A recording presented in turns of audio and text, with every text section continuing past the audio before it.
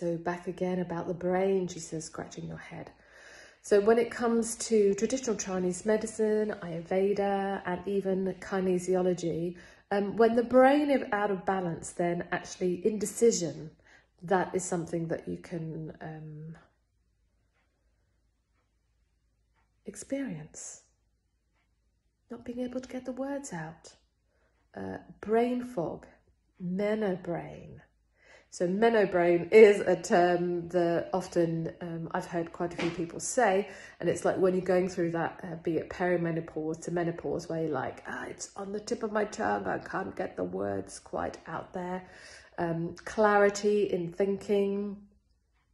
So hydration is really important for our brain health. And also, did you know that um, water and also fat, those are two ingredients that actually the brain needs.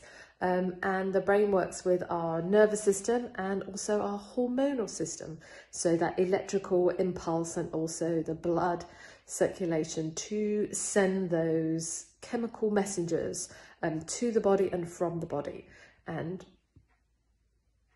that's my little piece of information to share with you um, on the brain. And the brain is really important because that's part of how we translate and logically, it's like the logic brain and the creative brain to make sense of the world and come up with solutions or really want to be adventurous. So um, making sure that that aspect of our brain is working in harmony with the heart and the body or connective tissue system and also the gut. Um, and we have our vagus nerve, which actually connects through into the gut, and we have our receptors of the connective tissue system.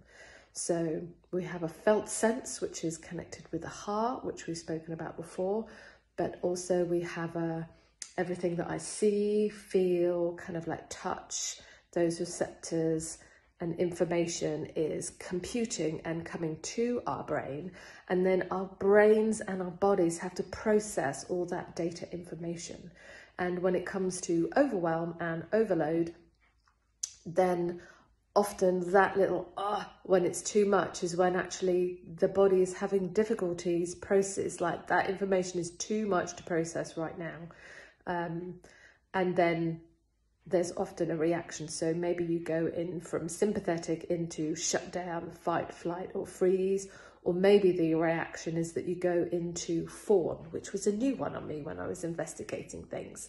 And fawn is that idea that rather than uh, freeze or fight or flee, that you actually, it's like you go with it. So it's like, keep going, keep going, keep going, keep going, can't stop, keep going, keep going. So fawn is like, I'll play along with it until I have an escape route. So my question is, it's like, how often do you keep going, keep going, keep going, fawn, go along, go along, go along, go along, until you're like, I'm busted. That's enough. Again, it's a coping mechanisms and coping me mechanisms are all really good until they no longer serve you. And then it's like, okay, well, what other mechanism or opportunity or strategy can I find that actually serves me now?